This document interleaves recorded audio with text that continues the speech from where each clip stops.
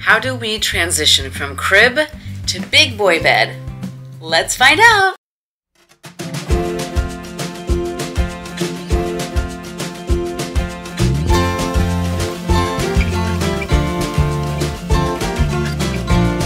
Hey, it's Neelafar Gibson with Honest Mom, and today I'm going to tell you guys how we did a smooth transition from crib to big boy bed for our son Riker. Um, first of all, I want to say that sorry that I have not made a video in a couple weeks, but it's been kind of crazy busy over here with summer coming up and a lot of planning and things going on, and we had visitors and all kinds of things. But I'm so excited to be back here. I missed you guys, and I'm really excited to share with you guys a huge milestone that we just had in my son's life. So, my son is three and a half, almost four years old, and um, probably like a month or two months ago, he try to jump out of the bed, you know, crawl out of the bed, out of his crib. Um, he's been in his crib since he's been four and a half months old when he started sleep training, and he's always been in there. And we just kept him in there because he still fits, and it's never been like a safety issue.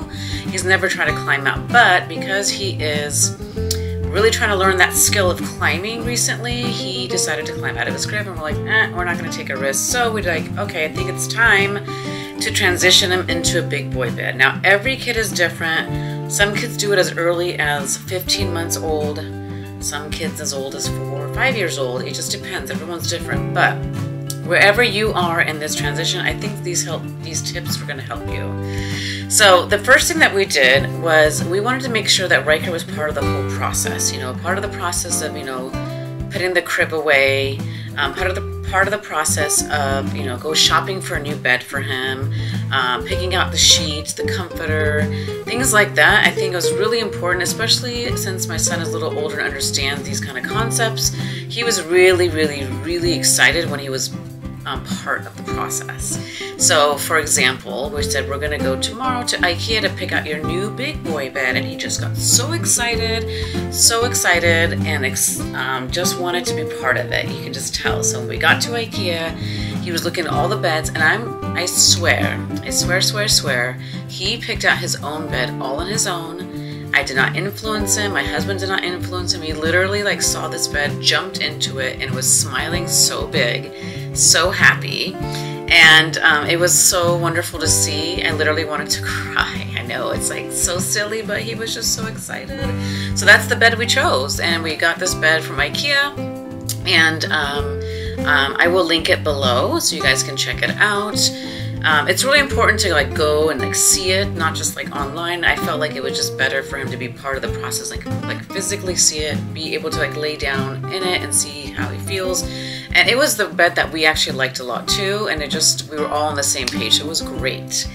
Um, and then I kind of chose some sheets and comforters to, for him to choose from, and then he liked the ones that we that we got, and so that was awesome. And so that whole process was very positive for Riker. And then every night, because we had to order the bed, every night he's like, big boy bed, big boy bed. So he just could not wait for his big boy bed. So that was really, really awesome. And so, um, of course, like once the bed got here, we also had him be part of the process of when my husband was putting it together. He was able to see him put it together, and then was whole, part of that whole process again for the bed delivery. Like he just got excited for every step. So I think that's really, really important because they feel like, oh wow, like this is gonna be for me. Like I'm growing up, and I don't know, like all the feelings that they're feeling, and we want to support that. So. So that was really, really awesome. Now, some practical things that you can do to help with that transition um, because now they're not contained, right? Because that was my thing. It's like, wait, in the crib, like he was fine in there. This is before he can climb out. He can't get up in the middle of the night or fall out the bed or like there was all these concerns, right? So I was like, hmm. So actually, one of my friends, um, Jamie, um, you know, she has kids a little older than Riker, and so she told me about this bumper and I will link it below. And here is a picture of it right here, because it's on Riker's bed right now. But here's the bumper, and it's really, really cool because I didn't even know about this. I always thought, oh, we're just gonna get like a little guard on his bed so that way he can't roll off the bed because one side of the bed is against the wall, so that we just have to worry about the other side. And my friends showed me this bumper, and it's really cool because it literally goes like kind of under the covers and it's just like this big like bumper and it's really awesome because you can't really tell from the outside and it, it keeps him in there. Like he he doesn't roll off the bed. He doesn't fall off the bed. It's easy to get in and out of bed. Like it's awesome. It's super soft, and you can buy it off Amazon. And it wasn't that expensive, I don't think. But I'll link it below.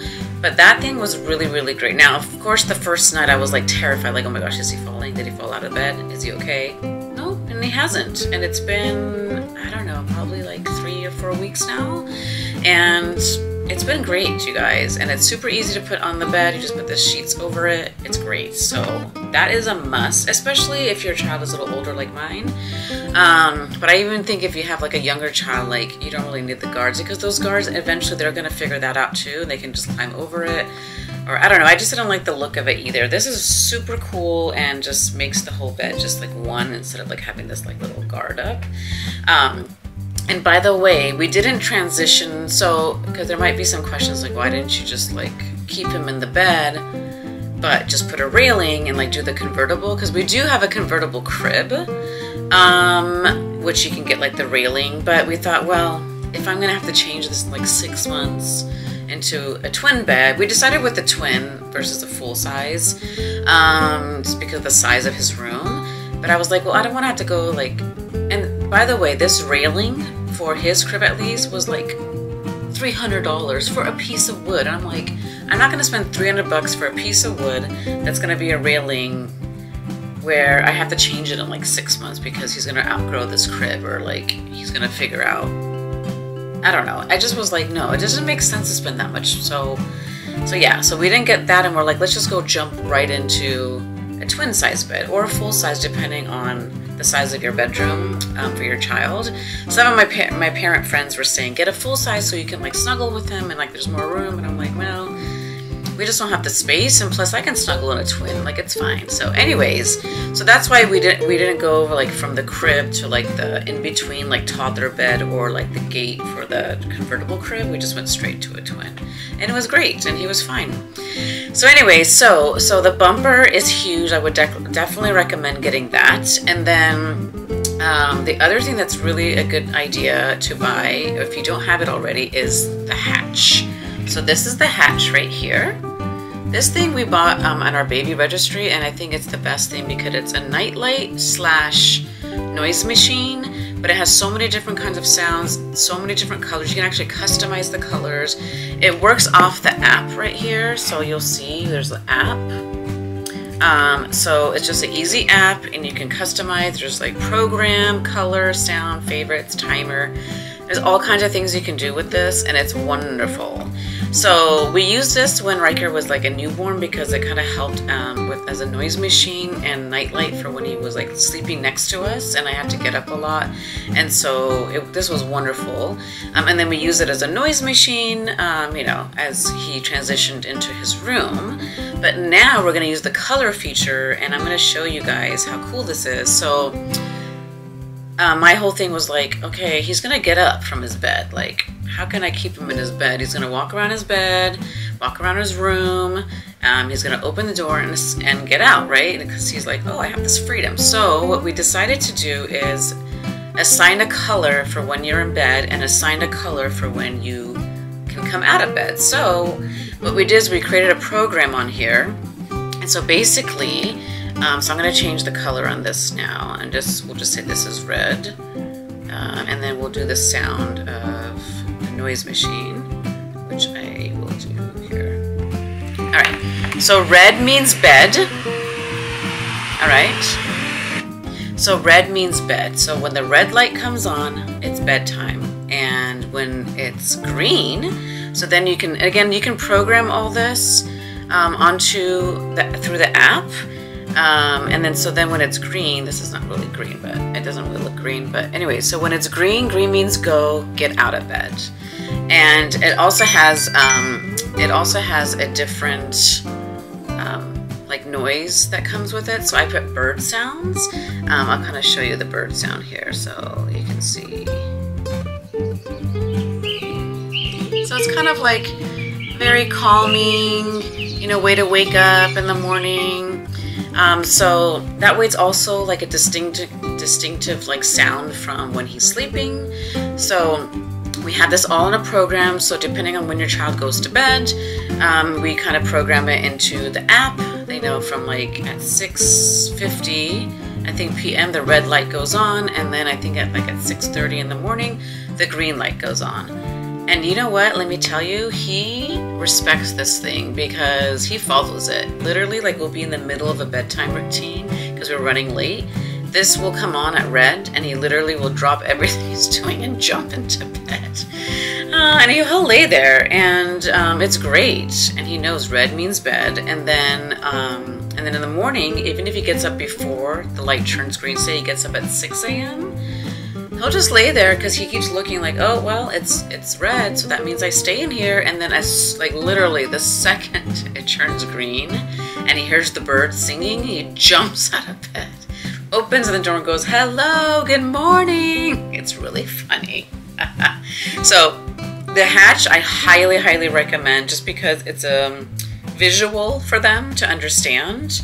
And you don't have to keep going into the room like every second to be like, oh my gosh, please get back into bed. Oh my gosh, because that's like really exhausting. But again, it depends on the age of your child. I mean, I know that if they're younger, they may not get this, maybe they will, I don't know, but you can try.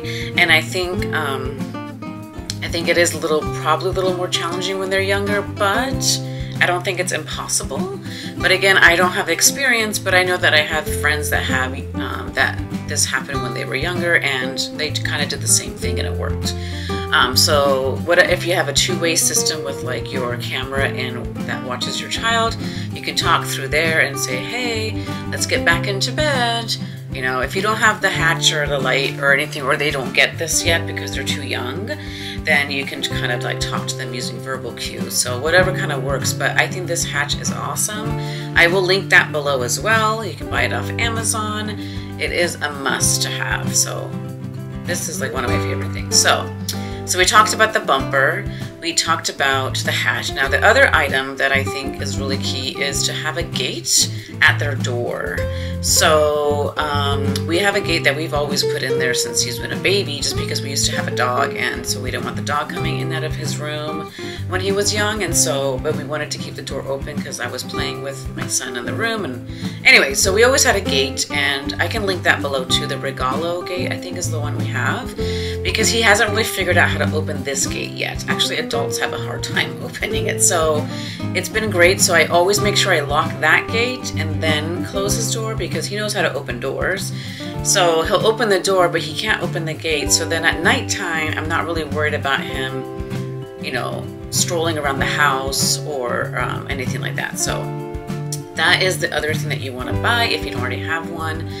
And the other, the last tip that I want to share with you is um, make sure you remove anything that could distract him. So I removed all toys from my son's room and put it and just kept everything in the playroom now. Now, if you don't have a playroom, wherever you have, if you have toys anywhere else that's not in the bedroom, I would suggest moving all those toys out of his room um, and I just basically just keep books in there and his stuffed animals, but nothing like a. He used to have like a Thomas the Train track and like he like a racetrack in there, but that's just too distracting. And so um, I just wanted everything cleared out. And that way, his room is just his room where he sleeps, read books, and then the playroom is where he'll play.